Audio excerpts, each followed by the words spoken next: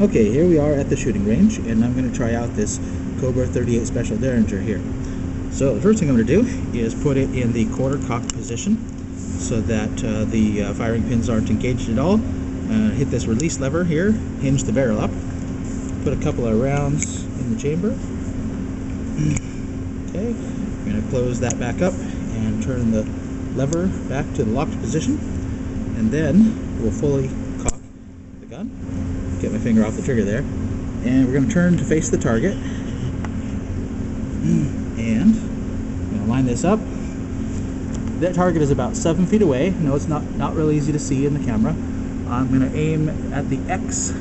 I've already had one shot, and I ended up hitting the 9 above the X, but we're going to see if we do better this time. So directly at the X, everything's lined up, and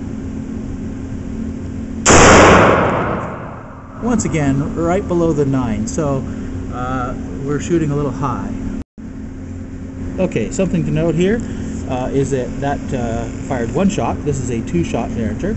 So uh, what I'm going to do now is I'm going to go ahead and cock that hammer again uh, and uh, face the target some more and pull the trigger and it should automatically fire up that second bullet.